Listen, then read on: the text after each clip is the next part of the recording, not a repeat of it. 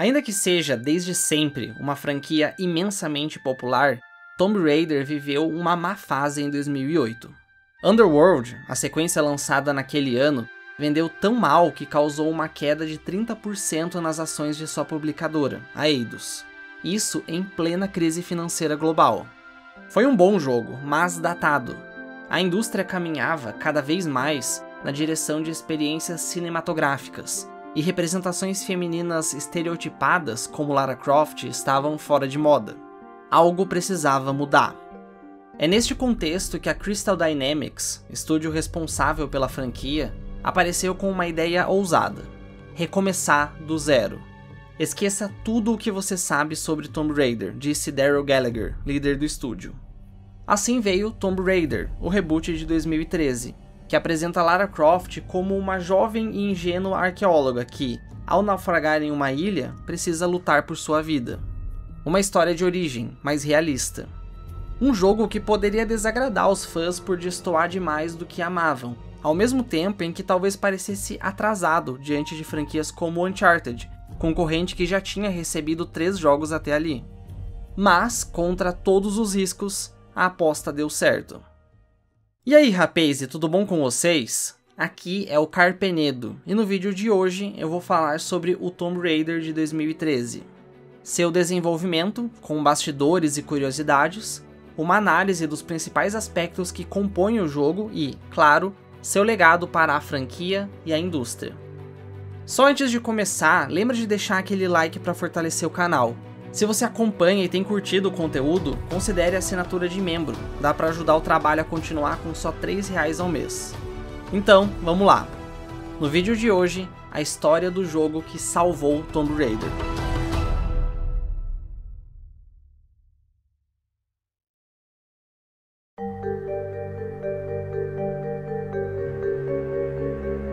Tomb Raider nasceu ainda em 1996, no extinto estúdio britânico Core Design. Seu sucesso e impacto imediato na indústria foi avassalador. Ajudou a definir as bases dos jogos 3D, que ainda estavam começando a aparecer, com um cativante mix de ação, exploração, puzzles e, claro, uma protagonista impossível de ignorar. A enxurrada de sequências veio rapidamente, e logo Lara Croft se tornou um ícone cultural, um dos personagens de videogame mais populares do mundo. Ela estava em todo lugar, desde participações em outros jogos até propagandas de TV. Mom know about this? Who? PlayStation. O acelerado ritmo de lançamentos imposto pela Eidos, de jogos anuais feitos em prazos ridiculamente apertados, eventualmente resultou em Angel of Darkness, um Tomb Raider até com ideias legais, mas cheio de problemas, beirava ao injogável. Ele foi mal recebido e vendeu pouco, o que fez sua publicadora tomar a decisão de transferir a franquia Tomb Raider a outro de seus estúdios, um que já era aclamado por séries como Gex e Legacy of Kain. A Crystal Dynamics tem um status curioso. É conhecida hoje como o estúdio de Tomb Raider, ainda que tenha assumido a série só no sétimo jogo. Acredito que isso se dá não somente por eles terem tocado todos os jogos da franquia de 2006 em diante, mas também pelo ótimo trabalho na condução da saga. Poucos estúdios têm tantos ex-funcionários de renome que fizeram carreira em outras empresas, como Bruce Straley, ex-Naughty Dog e co-diretor de The Last of Us, Glenn Schofield, produtor de Dead Space, e, claro, Amy Hennig, escritora de Uncharted. Aos desenvolvedores da Crystal, assumir Tomb Raider foi algo tão empolgante quanto intimidador. Uma franquia que todo mundo já conhecia e admirava, cheia de novas possibilidades, mas também com um enorme legado e milhões de fãs. Uma baita responsabilidade. Tomb Raider Legend, sua estreia na saga, jogou seguro em algo bem fiel aos clássicos e foi muito bem recebido. Inclusive, uma curiosidade aqui: Amy Hennig, que foi roteirista na Crystal, ficou doida para trabalhar com Tomb Raider quando o estúdio assumiu a franquia. No entanto, seus chefes a fizeram continuar em Legacy of Kain. Ela não gostou da decisão e saiu do estúdio, se juntando a Naughty Dog, onde tornou-se o principal nome por trás de Uncharted, franquia que é tida como a principal concorrente de Tomb Raider. A sequência de Legend, Tomb Raider Underworld, veio em 2008 e apesar de ser sim um bom jogo, parecia antiquado e vendeu muito mal. Só um milhão e meio de cópias, pouco para o tamanho dessa franquia. E como eu já mencionei lá no começo, causou uma queda de 30% nas ações da Eidos, o que não é pouca coisa. O mundo dos games mudou muito desde o auge de Tomb Raider. Títulos como Assassin's Creed e Uncharted chegaram e fizeram muito mais sucesso entre os jogos de aventura. A indústria também caminhava, cada vez mais, na direção de experiências dramáticas, e a antiga Lara não combinava tanto com essa pegada. O pessoal na Crystal entendeu que mudanças precisavam acontecer. Como dito por Daryl Gallagher, a trilogia que fizemos primeiro foi sobre preservar e modernizar o legado. O que viria a partir dali seria sobre definir o futuro. O interessante é que nada disso começou com a ideia de um reboot, e sim de fazer algo novo, diferente. Acontece que um reboot mais realista casou muito bem com a proposta. O início da produção, na verdade, teve muita experimentação, ideias malucas, algumas que deram um jeito de permanecer no jogo, mas a maioria não. Esses conceitos e protótipos, desenvolvidos por volta de 2009, até ganharam o título de Tomb Raider Ascension, isso antes de aparecer um God of War com esse nome seria a Lara do Underworld, mas já com alguns elementos do reboot, como a picareta e a calça comprida. O jogo se passaria em uma ilha no mar do Japão, onde protegeríamos uma garotinha chamada Izumi. Pois é, Lara quase protagonizou uma história triste com a filhota, bem antes de The Last of Us. Também seria um jogo de mundo aberto mesmo, teríamos até um cavalo para andar por aí. Ascension contaria até com elementos de survival horror, Alguns vídeos mostram um sistema de combate corpo a corpo, onde Lara teria dois machados, um para cada analógico do controle, em um jogo de fantasia cheio de monstros horríveis e criaturas enormes da mitologia japonesa. Aqui vemos inspiração em clássicos como Eiko, Shadow of the Colossus e até Silent Hill. Algo que nós nunca jogaremos, infelizmente. Tá, esse não tem como mesmo, mas sabe onde dá para jogar praticamente qualquer outro jogo? No Steam Deck. E ele não custa mais o preço de um Celta não, pelo menos não na Trilogy Games. É uma loja online de confiança, comprei o meu lá, com mercado pago, suporte atencioso e entrega nacional. Sério, curti incontáveis jogos da minha biblioteca da Steam em qualquer lugar, inclusive Tomb Raider a gloriosos 60 FPS, era algo inimaginável uns anos atrás, mas já é realidade. Então fica a dica, se você está pensando em pegar um, confere o link da loja na descrição. Voltando ao vídeo, como sabemos hoje, eles não descartaram tudo daqueles conceitos iniciais do Ascension. A ilha permaneceu, só que no formato de grandes mapas conectados e não em um único mundo aberto. E claro, a ambientação e a mitologia do Japão também ficou. É que o estúdio foi percebendo que aquelas ideias malucas levavam o jogo para cada vez mais longe do que é Tomb Raider. Era doido demais. Mas uma ideia pareceu correta, que foi meio que um ponto de virada: a sobrevivência. A partir disso, as coisas começaram a tomar forma. De acordo com Jason Botta, diretor de design, foi necessário passar por tudo isso para entender o que define Tomb Raider. I don't think if we had started and someone just said, take Tomb Raider and then tweak it like a little bit and then come up with the, you know, what it ends up being, we would have been able to get there. It was only through trying all these other crazy things that we were really able to, I think, discern the heart of what Tomb Raider was in a way that we hadn't really talked about before and go, cool, we now we know what it's not. And so by removing all the parts that it's not, we could really define what Tomb Raider was. Para eles, rebutar a franquia com uma história de origem foi mais um ato de necessidade do que uma escolha. A fim de criar uma heroína, nas palavras deles, culturalmente relevante e digna da atenção que antes veio tão facilmente, foi necessário quebrá-la e reconstruí-la. Esse reboot veio em um momento onde personagens femininas hipersexualizadas e estereotipadas em videogames começaram a receber fortes críticas. A Lara de shortinho e peitões, sex symbol dos anos 90, agora parecia antiquada. Os filmes de origem também estavam na moda. 007 Cassino Royale, Batman Begins, X-Men Origins Wolverine, todos sobre contar o início da história de personagens icônicos em um tom mais sóbrio e realista. Isso, sem dúvida, também influenciou a Crystal. Então, em dezembro de 2010, a Square Enix anunciou Tomb Raider, um recomeço que mostraria a jornada de uma mulher comum que descobre o quão longe ela deve ir apenas para continuar viva.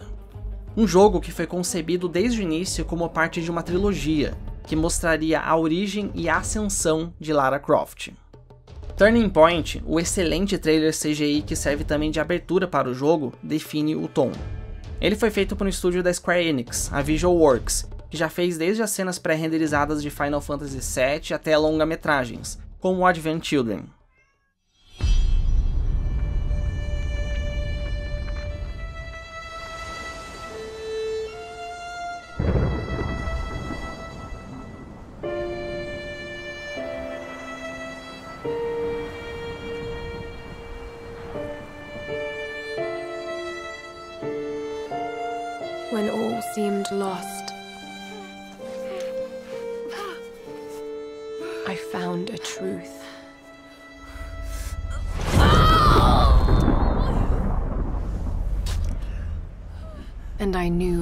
Must become.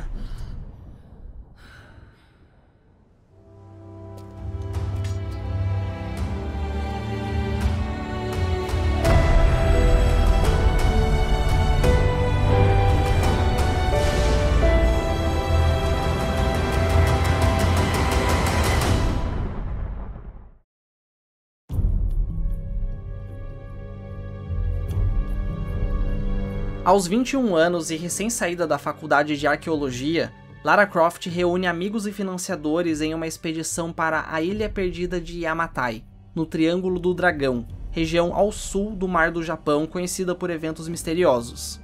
Idealista e cheia de sonhos, ela logo bate de frente com a dura realidade. O navio naufraga por conta de uma inexplicável tempestade e a tripulação quase não escapa com vida. Eles encontram a ilha, mas logo descobrem um ambiente hostil de onde ninguém escapa. Forças sobrenaturais atuam ali, e há sobreviventes anteriores que acreditam que a chegada desses novos náufragos pode ser a chave para sua própria fuga. Lara e seus amigos devem, então, lutarem por suas vidas. A Survivor is Born, ou Nasce uma Sobrevivente.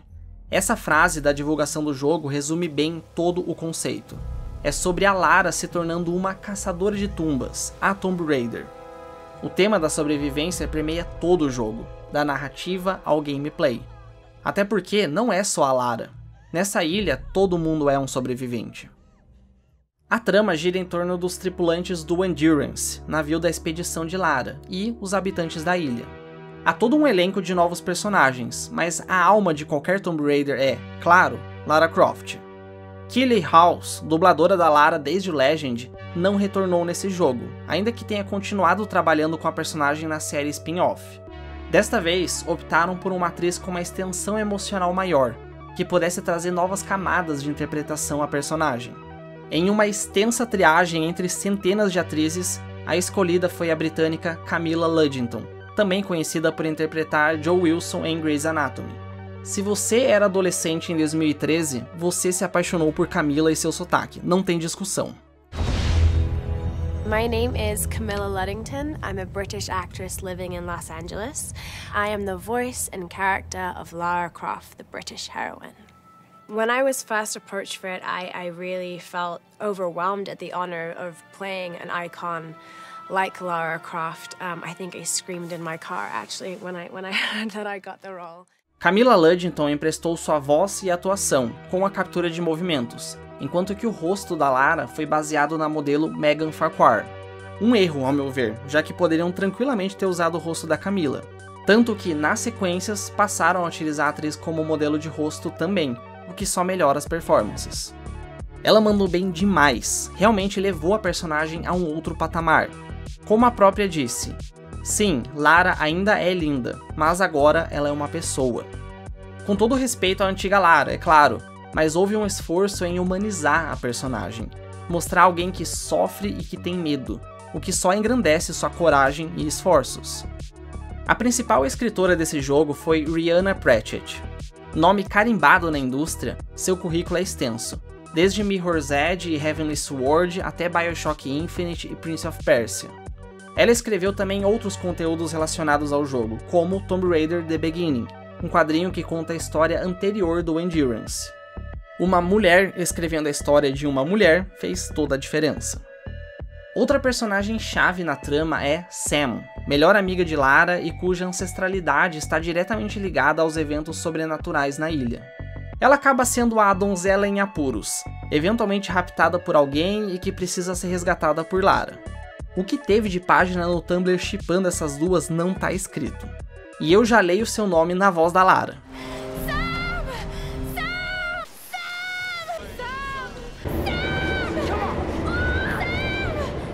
Um personagem importante no amadurecimento dessa nova Lara é Roth, que ocupa uma figura de mentor. É como um pai para a protagonista, já que ela o perdeu ainda jovem. Roth a ensinou tudo o que sabe, a aconselha e é uma das pessoas que nunca deixou de acreditar na intuição da heroína. Eu também gosto muito do vilão desse jogo. Matthias é um dos vários homens que naufragou e ficou preso em Amatai anos antes, e a fim de prevalecer, criou uma seita de sobreviventes. É um bom antagonista porque ele tem um ponto. Matthias está só tentando sobreviver e sair da ilha, tal qual Lara, ainda que seus meios sejam questionáveis. E há a grande vilã por trás de tudo, a rainha Himiko. Eu gosto do fato de que ela é, assim como Lara, uma figura feminina poderosa. Aliás, uma observação: com exceção de Himiko, Lara só enfrenta homens. Há um significado aqui, será? Temos outros personagens, como o Jonah, amigo para todos os momentos, tanto que é o único a retornar nas sequências, Reyes, insuportável de chata, Whitman, o egocêntrico que garante momentos cringe, Alex, secretamente apaixonado por Lara, mas bobão demais para ela, e Angus, um velho irlandês casca-grossa. A tripulação é grande, mas sendo sincero, poucos personagens realmente se salvam. A Lara brilha, é claro, mas fora ela, não há tanto desenvolvimento, são quase todos bem esquecíveis. É o maior ponto fraco desse jogo para mim. Outro problema aqui, ao meu ver, é que as animações faciais são meio fraquinhas, mesmo para época. A movimentação de corpo da Lara é impecável, mas o seu rosto não convence e destoa do excelente trabalho de voz. Pelo menos atualizaram essas animações e o modelo de rosto da Lara nas versões de PlayStation 4 e Xbox One, Infelizmente, o PC foi esquecido no churrasco. Também deram um trato no cabelo da protagonista, sempre sedoso mesmo após dias sem banho. Tomb Raider 2013 é um jogo muito mais realista que os anteriores, e um momento que ilustra isso bem é a primeira vez que a Lara mata alguém. Lara matou e segue matando para sobreviver. É diferente da Lara que destruiu uma vila inteira e queimava animais só por algum artefato para sua coleção, ou mesmo Uncharted, cujo protagonista faz piadinhas logo após matar mais do que um serial killer. Não liquida aquela já manjada discussão da dissonância ludonarrativa, é claro, mas a aborda de uma forma um pouco mais madura que os jogos anteriores, ao meu ver. É matar ou morrer, simples assim. Foi um de seus trabalhos mais exaustivos, emocionalmente e fisicamente, segundo Ludington.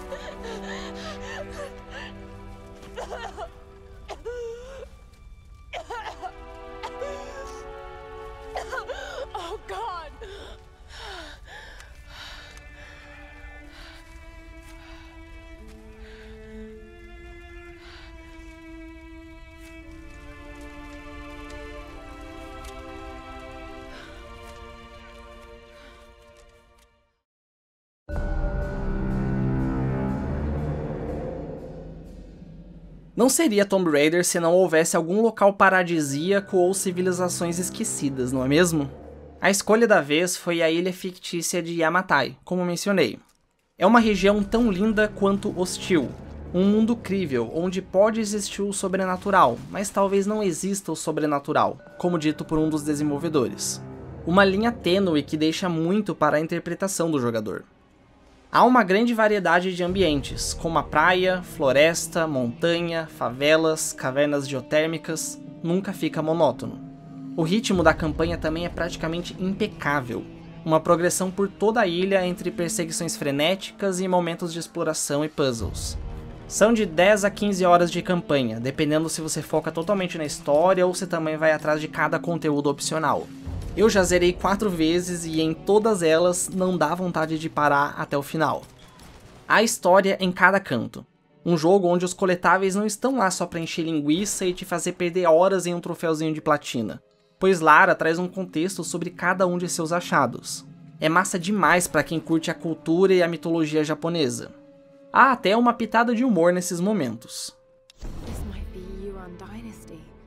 Could it be from Kublai Khan's lost fleet? Oh wait, it's a fake. Made in China. Assim como o drama, outra característica que define esse jogo é a brutalidade do mundo, da violência gráfica aos temas abordados, um contraste à beleza da ilha. Há aquela sensação de dificuldade e perigo constante, que o risco é sempre alto. Não é só um errei o pulo, é uma morte visceral da Lara bem na sua cara, te lembrando do quão perigoso aquele mundo é e o quão frágil nós somos diante dele. Não é algo tão diferente dos Tomb Raider clássicos, se você for parar pra pensar, já que a Lara vivia caindo em espinhos gigantes ou sendo mastigada por dinossauros. Só que aqui não é apenas a violência gratuita, é sobre a seriedade da situação e as consequências. Diferentemente dos jogos anteriores da franquia, que recebiam a classificação T para adolescentes, esse aqui foi o primeiro na série a receber um M da ESRB, por conta do sangue, violência e palavrões. Inclusive, há uma possível influência aqui, que eu não vi sendo citada pelos desenvolvedores, mas eu tenho certeza que rolou, que é um filme de 2005 chamado The Descent, ou Abismo do Medo, aqui no Brasil. É sobre um grupo de amigas que decide explorar um sistema de cavernas por hobby e acabam tendo que lutar por suas vidas. O fato de ter mulheres em destaque, ênfase na claustrofobia, criaturas humanoides nas profundezas, pessoas encharcadas de sangue, é impossível não relacionar.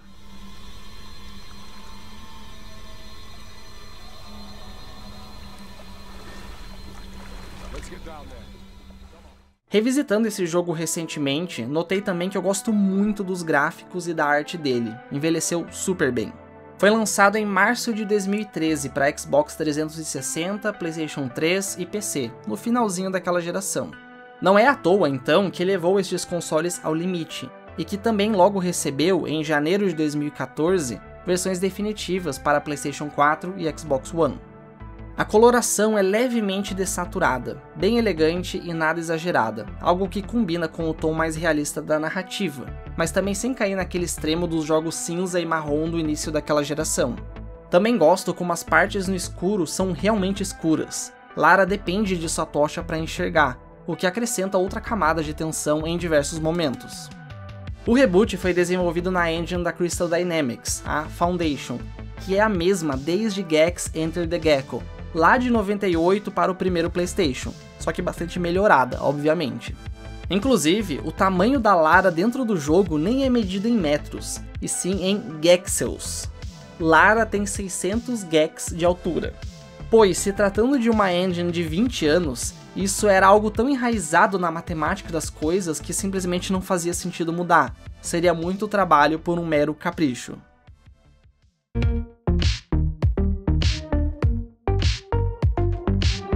Em gameplay, não há forma melhor de descrever esse jogo como uma modernização da essência de Tomb Raider.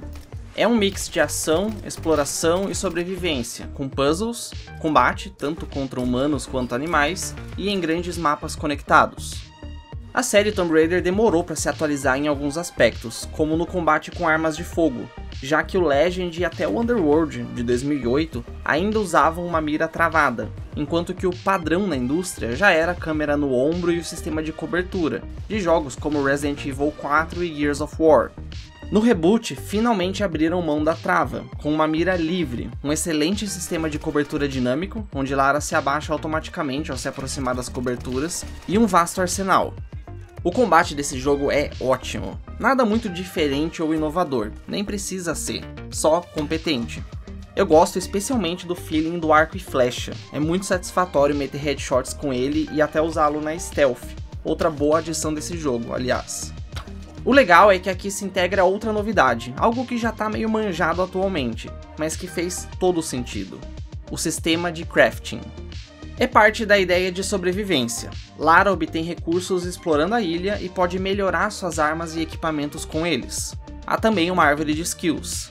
Tudo bem simples, nada daqueles sistemas de RPG exageradamente complexos, não faria sentido aqui. É só algo que reforça a progressão da campanha em Via Lara, cada vez mais se adaptando e se tornando uma sobrevivente. Vários desses upgrades são coisas relacionadas à história, tipo quando a Lara usa um isqueiro e uma ponta de flecha para cauterizar um ferimento, e percebe que pode usar aquilo também para disparar flechas flamejantes.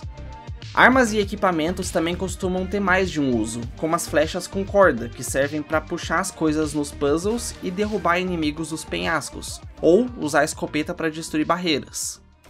A estrutura dos mapas é meio que um semi-mundo aberto, com mapas grandes e conectados, mas que ainda te conduz por um caminho bem definido na campanha. Eu considero a abordagem ideal nesse tipo de jogo, já que mantém aquela sensação de uma experiência linear meticulosamente desenhada, mas com conteúdo adicional rico. É muito massa como o tema da sobrevivência permeia tudo. Os fast travel, por exemplo, são entre fogueiras e acampamentos espalhados pela ilha, o que funciona como um descanso de Lara onde ela atualiza seu diário e, nisso, nos recapitula da história. Também adoro a maneira como os novos equipamentos nos permitem voltar a mapas anteriormente explorados e descobrir coisas novas. É quase um Metroidvania nesse sentido, peço perdão por banalizar o termo. Inclusive, eu amo as tumbas. Elas são puzzles opcionais espalhados pelos mapas, geralmente mais difíceis que os puzzles da campanha e com recompensas únicas. É uma das coisas que mais remete aos Tomb Raider clássicos nesse reboot. Ainda são meio fáceis nesse jogo, foi ficando mais legal nas sequências. Os puzzles se baseiam muito em coisas como o Physics-Based Gameplay, a jogabilidade baseada em física, algo que já apareceu no Legend, como o da tumba onde precisamos lidar com um vento bem forte. É legal, pois torna as soluções mais imprevisíveis. E como esse jogo tenta também ser mais abrangente a novos públicos e acessível aos novatos, já que os clássicos eram difíceis pra cacete, implementaram o instinto de sobrevivência, um filtro de visão que destaca recursos e elementos de puzzle. Ajuda quem precisa daquela dica e é algo totalmente opcional, não atrapalha a experiência de quem quer descobrir tudo sozinho. Um elemento bem presente em todo o Tomb Raider é, claro, a vida selvagem. De inimigos à caça, agora eles povoam os mapas e até nos provêm recursos. Fizeram de um jeito que não força o jogador a ficar caçando, serve apenas de complemento para dar vida ao mundo. Um balanceamento delicado tanto do ponto de vista de ritmo quanto até de economia do jogo, já que a caça rende recursos. A responsável por esse sistema foi a designer Alicia Tyre, que também é acreditada pelo sistema de caça do primeiro Red Dead Redemption. É claro que, seguindo tendências modernas, esse Tomb Raider tem muita ênfase na cinematografia, com várias cutscenes, set pieces bombásticas e até quick time events. Muitas mudanças de câmera também, em prol do tipo de sentimento que os devs querem passar, como uma câmera mais próxima nas cavernas para induzir claustrofobia. Nesse sentido, com certeza se inspiraram em Uncharted, que foi muito bem sucedido em popularizar essa fórmula de jogos mais cinematográficos. Porém, também acho injusto quando dizem que a modernização de Tomb Raider foi simplesmente uma cópia de Uncharted. Primeiro que Tomb Raider influenciou Uncharted antes, nos clássicos. E segundo que, sim, ainda que exista uma troca de ideias aqui, o reboot de Tomb Raider tem sua identidade bem presente em coisas que Uncharted não tinha, como nos mapas semi-mundo aberto, upgrades e tumbas opcionais. Foram bem além, ao meu ver. Pois é, eu não faço nenhuma questão de esconder o quanto eu prefiro Tomb Raider entre esses dois. E mesmo com toda a ênfase cinematográfica, ainda o vejo como um jogo de gameplay forte. E um bom exemplo disso é a possibilidade de controlar a Lara no ar depois dos pulos, algo que dá mais agência ao jogador. Se você vai acertar um pulo ou não, depende muito mais de você e não do jogo telegrafando antes e arrumando em seguida. Ok, talvez você nem se lembre, mas esse foi o primeiro jogo da série principal a ter um modo multiplayer, que é bem dispensável. Não que seja ruim, dá para se divertir por uns dias, mas nem fazia muito sentido. Veio em uma época em que se acreditava que todo jogo tinha que ter um multiplayer para ser lucrativo. Esse modo foi feito externamente, por um time pequeno dentro da Eidos Montreal, estúdio canadense de Deus Ex Human Revolution. Posteriormente, é eles quem desenvolveram o último título da nova trilogia, Shadow of the Tomb Raider. O tema desse multiplayer também é a sobrevivência, grupos sobrevivendo juntos. E tem um diferencial interessante que é a verticalidade, escalar as coisas nos mapas e tudo mais. Tinha qualidade, mas ninguém trocaria o seu Modern Warfare 3 por isso, sejamos sinceros.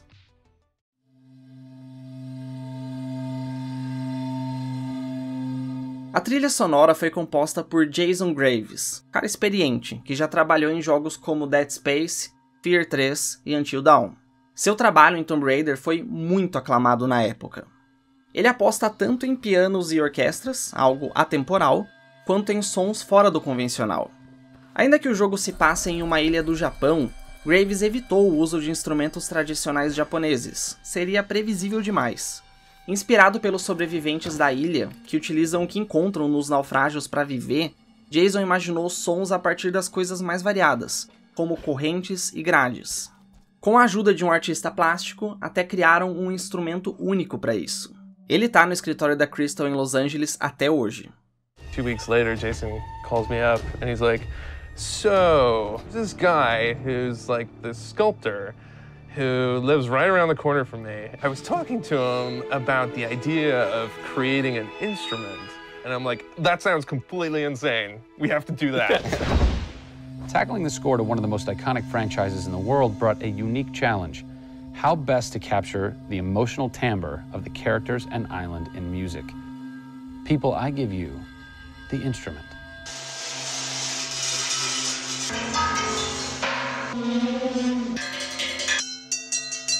The instrument, I was going to let Matt determine the aesthetics. I was really only concerned about the sound that the sculpture was going to make. Matt built this, which looks pretty much exactly like Laura's original homemade bow in the game. There's different timbres based on different materials, metal, glass. It's a direct line from the plot, the characters, the story, the environment, straight to the sculpture. We always wanted the island to have that character in itself. Creating an instrument gave it this unique identity. It's got a voice. Yeah. Yeah. The very beginning of the game is, is nothing but the instrument.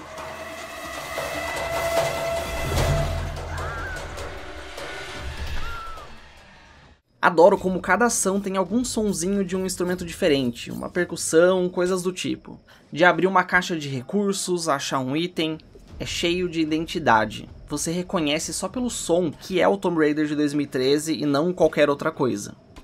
Outro destaque, para mim, é a música tema do jogo. Ao invés de reutilizarem o tema antigo, como sempre acontecia, apostaram em algo totalmente novo. É um tema intimista e poderoso, aparecem diferentes variações durante a jornada. Um mesmo tema que pode soar melancólico, energizante ou até misterioso. The most signature thing that we need to get right is Lara's theme. One of our big goals was that it can be used in any emotional context. What does it sound like? High action.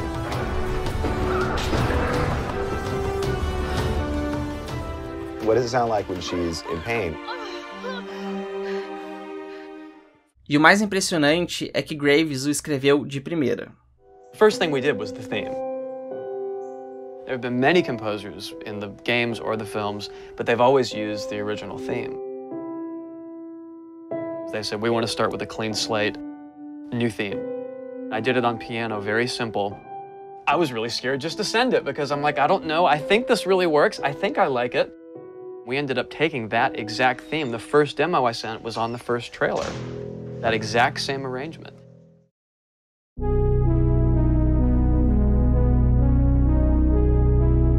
O pessoal na Crystal encarou esse como o jogo mais importante de suas carreiras. Viveram um ciclo de desenvolvimento consideravelmente maior do que o comum naquela geração de consoles, 4 anos, em comparação a 2 ou 3 da maioria. Um projeto de cerca de 120 funcionários, pouco para os padrões de AAA da época.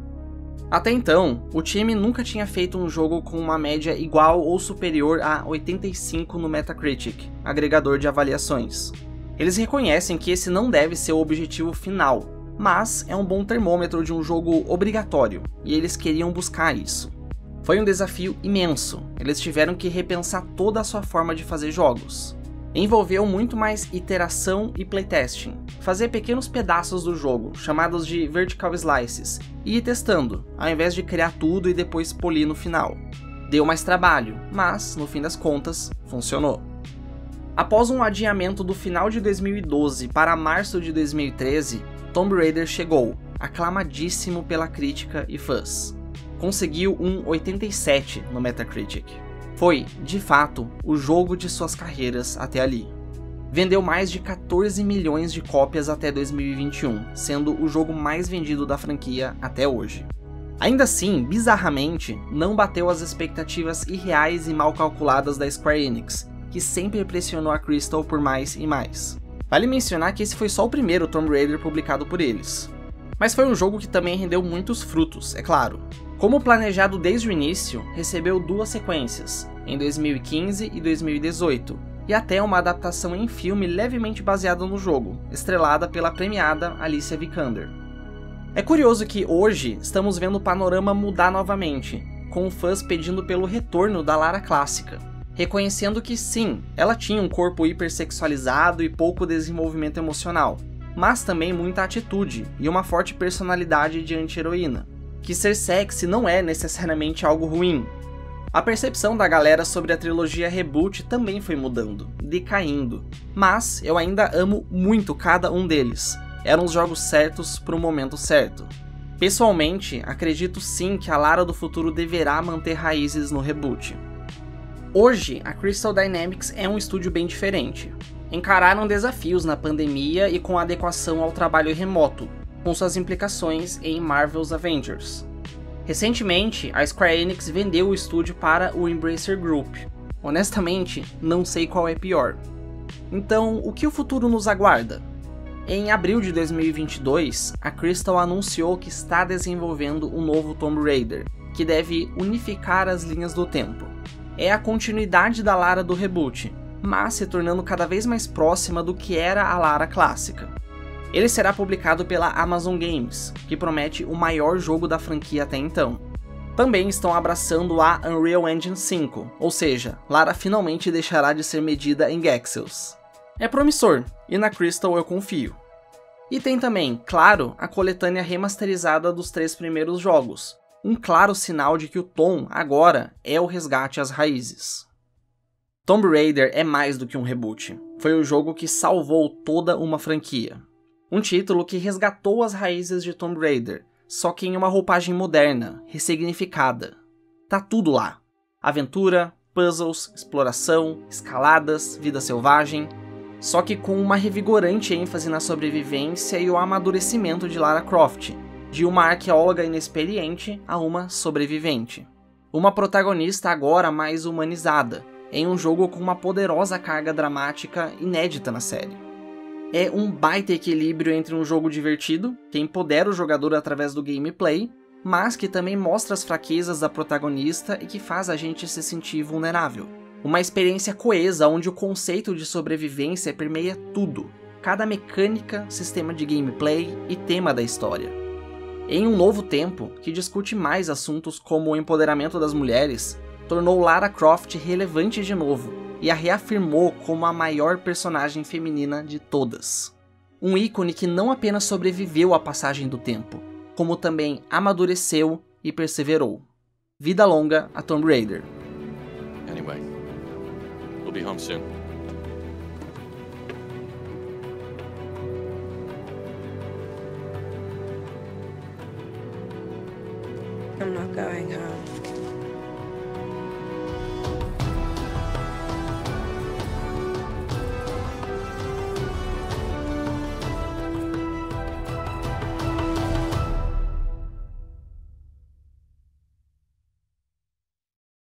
Muito obrigado por ter assistido esse vídeo. Se você gostou, deixa aquele like para fortalecer. Também comenta aí, qual é a sua história com Tomb Raider? Se você curte vídeos assim e quer mais conteúdo do tipo, se inscreve aí no canal. Lembrando que todos os links importantes, fontes, referências, tá tudo na descrição ou no comentário fixado, como sempre. Então é isso. Muito obrigado e até mais!